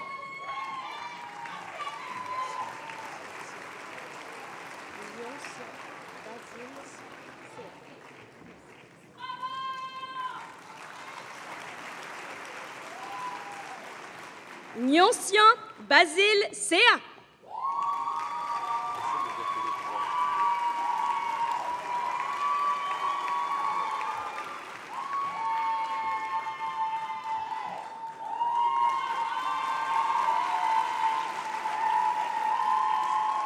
Et Philippe Georges Tremblay.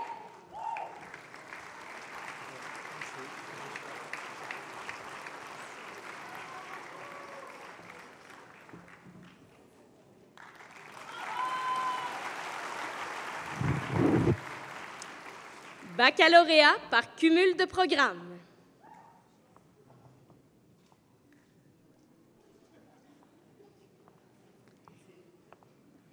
Richard Chartrand.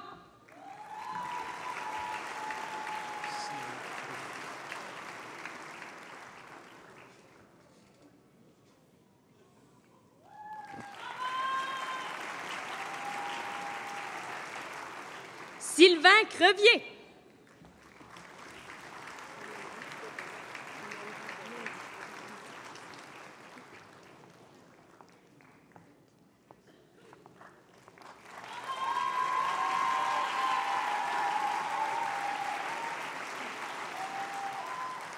Nandy De Rose.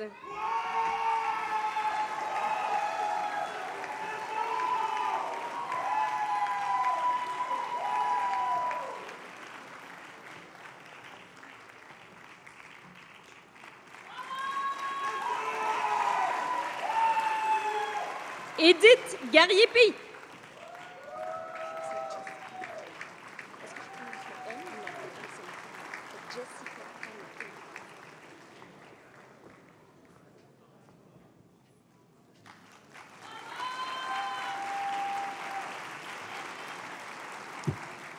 Jessica Pagna.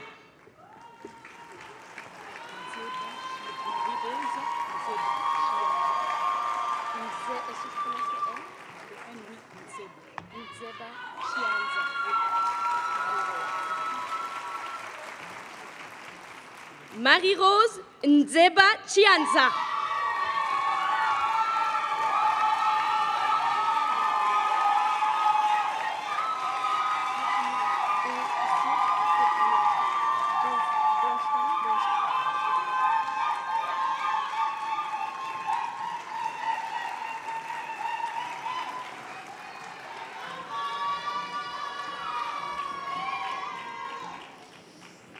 Nous allons maintenant poursuivre avec les programmes de cycle supérieur. Maîtrise en droit, droit du travail avec mémoire. Virginie Robert, directrice, Stéphanie Bernstein.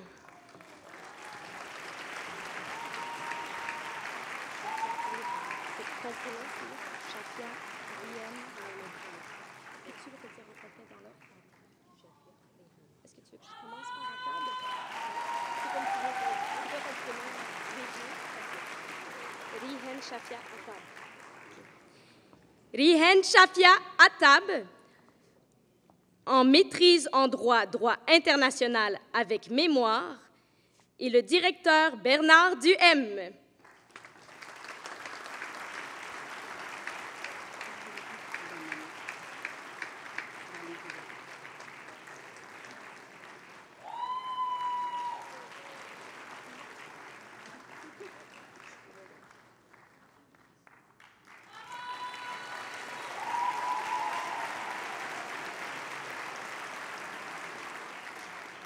Valérie Bonhomme, directeur, Bernard Duhem.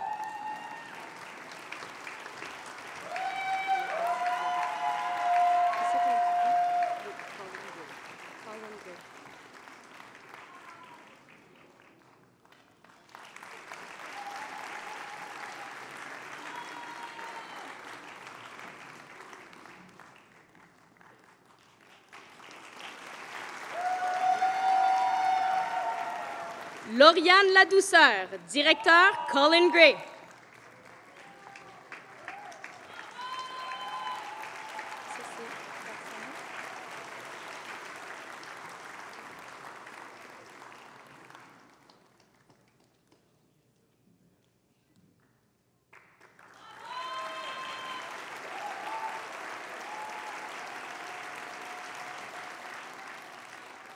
Claudia Lamontagne, directeur, Olivier Barsalou.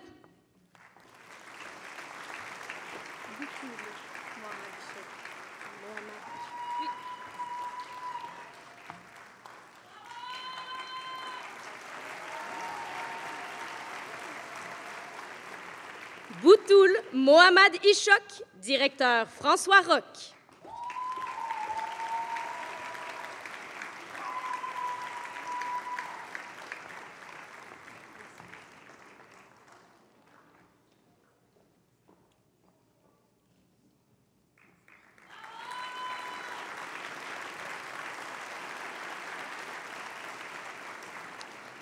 Maîtrise en droit, droit international et politique internationale, travail dirigé.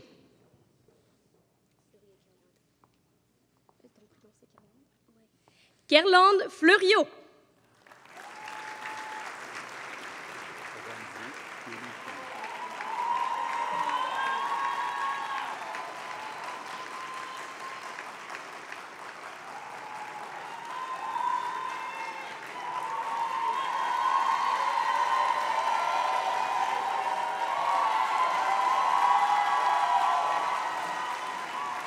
Ramzi Kelifi.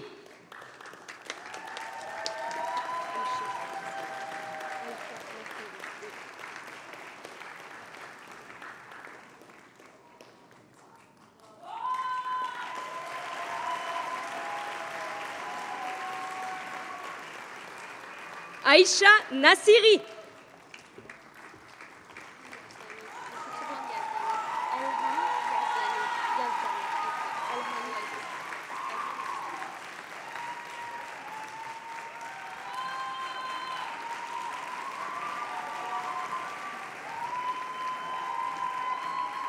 Et Elham Yazdani.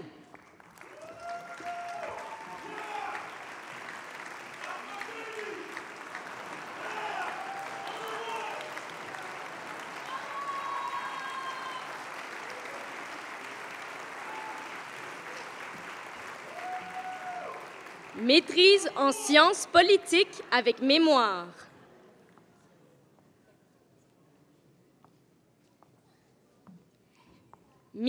Allard, directeur Francis Dupuis-Derry.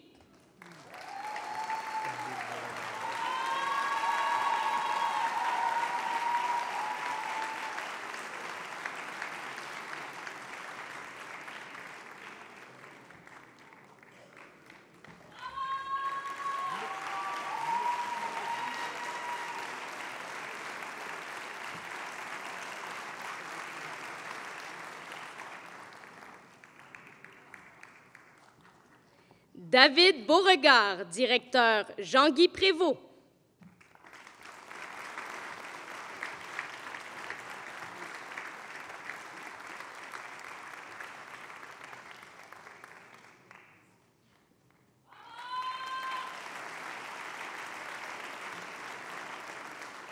Anouk Bikandou, directeur Isiaka Mandé.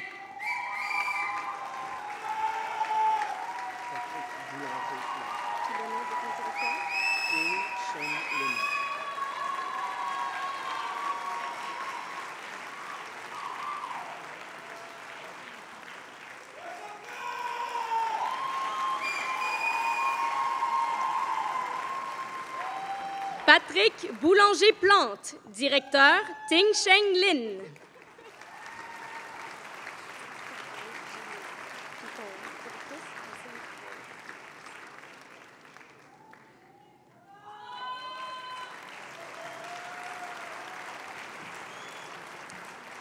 Judith Carvalho-Gélina, directrice Alison Harel.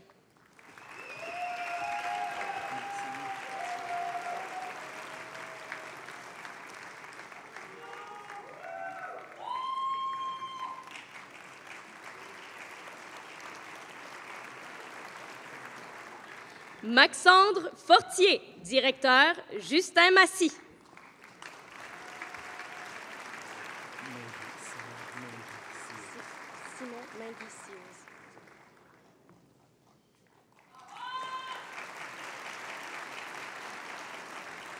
Simon Maggie Sears, directeur Frédéric Gagnon.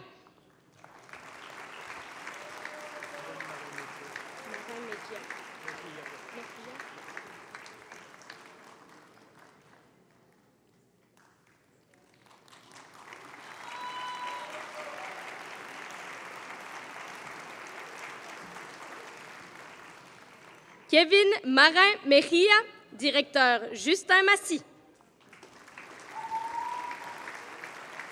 Juste Nicolas, oui.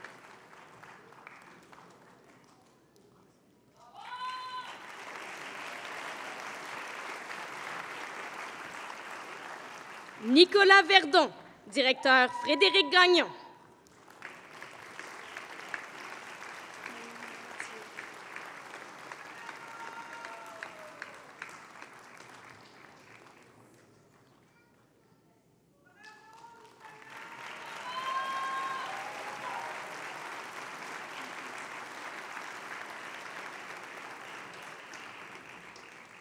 maîtrise en sciences politiques avec travail de recherche dirigé, Maïmouna Diero.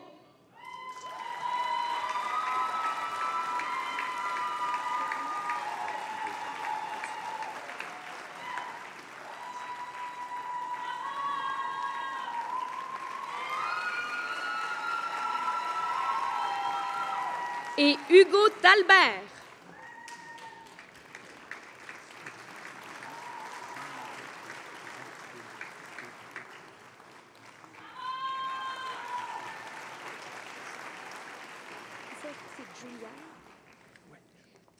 Maîtrise en sciences politiques, double diplôme IEPG.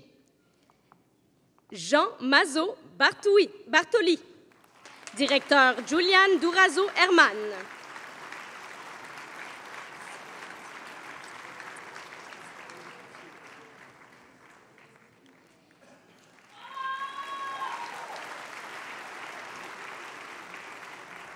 Et Meriem Sekat, directeur Julian Durazo Herman.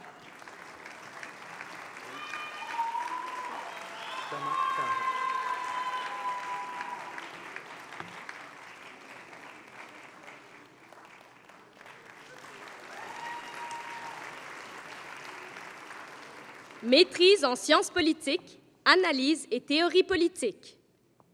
Thomas Caron, directrice Tania Gosselin.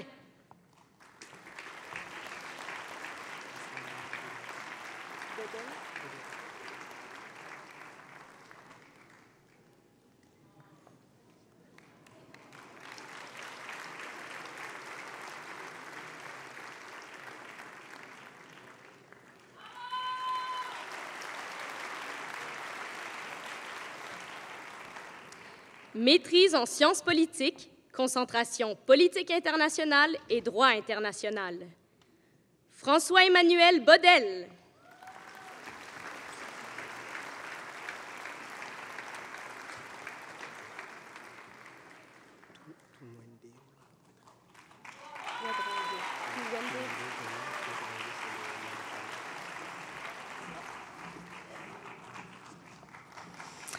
Félicitations aux nouvelles personnes diplômées titulaires d'un diplôme de deuxième cycle de la Faculté de sciences politiques et de droit.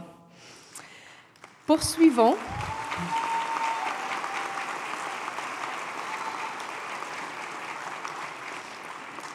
Poursuivons avec le troisième cycle. Notez que les titulaires d'un doctorat arborent une épitoge. L'épitoge est une bande de tissu distinctive portée par-dessus la toge les trois bandes blanches correspondent à leur grade de doctorat. Le titre de la thèse qui a exigé tant d'efforts et de sacrifices sera aussi mentionné lors du passage sur scène.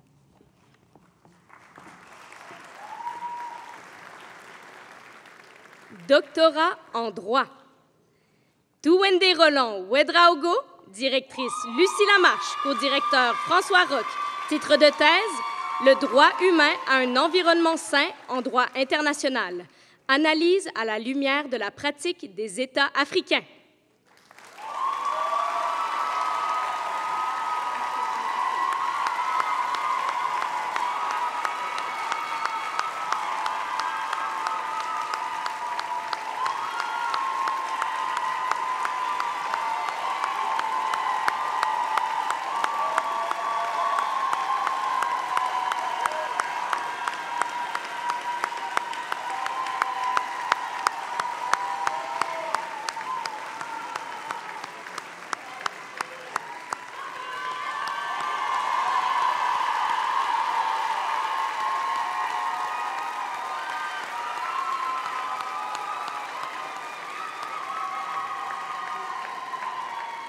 Doctorat en sciences politiques.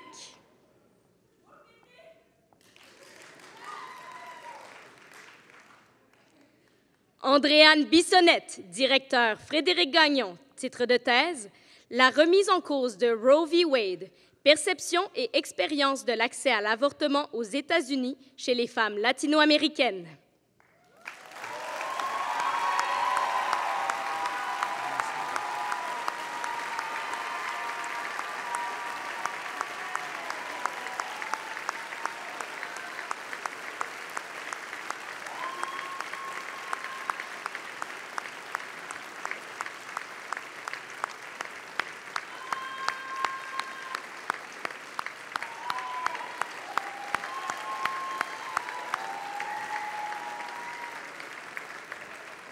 Vincent Boucher, directeur Charles-Philippe David, titre de thèse les préoccupations de réputation et la formulation de la politique étrangère des États-Unis, les décisions de l'administration Clinton en réaction aux crises sécuritaires de la guerre en Bosnie-Herzégovine 1993-95.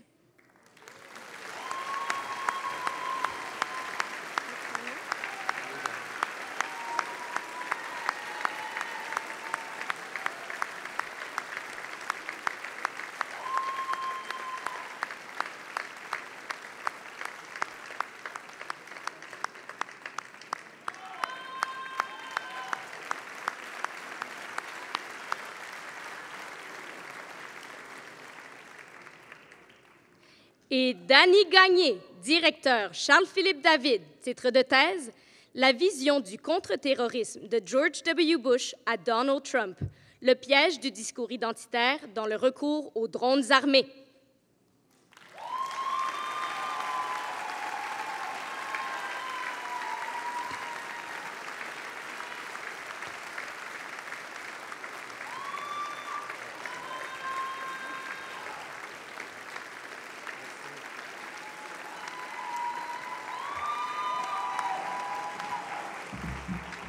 Mesdames et messieurs, l'heure est venue d'applaudir chaleureusement les nouvelles personnes docteurs.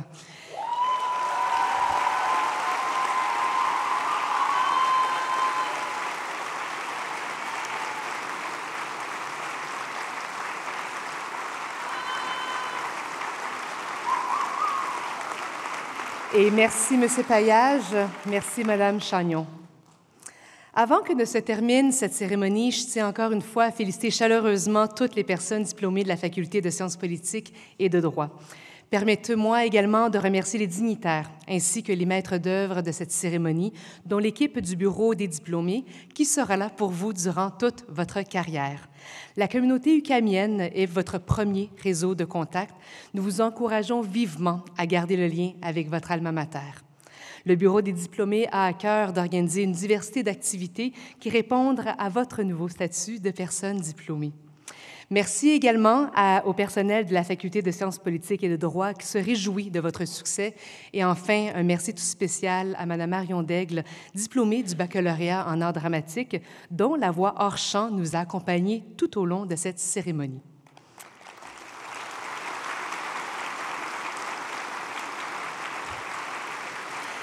Dans quelques instants, vous, vous serez conviés à un vin d'honneur dans les espaces du Centre Pierre Pellado. Des kiosques photos et un DJ vous attendent sous le chapiteau de la place Pasteur. Vous pourrez immortaliser ces beaux moments et les partager sur vos réseaux avec le mot-clic UCAM. La collation de grade se veut éco-responsable. Nous vous prions donc de déposer les gobelets recyclés et recyclables distribués pour le vin d'honneur dans les bacs prévus à cet effet. Avant de conclure cette cérémonie, je vous invite, chères personnes diplômées, à vous lever et à vous tourner vers vos parents et amis qui vous ont soutenu et encouragé tout au long de votre parcours.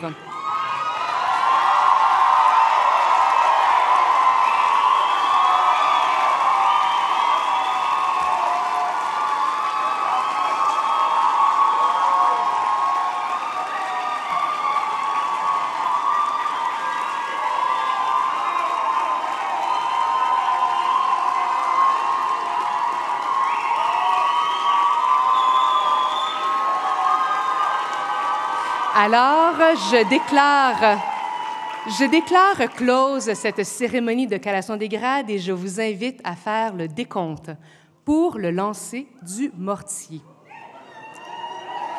Dans 10, 9, 8, 7, 6, 5, 4, 3, 2, 1.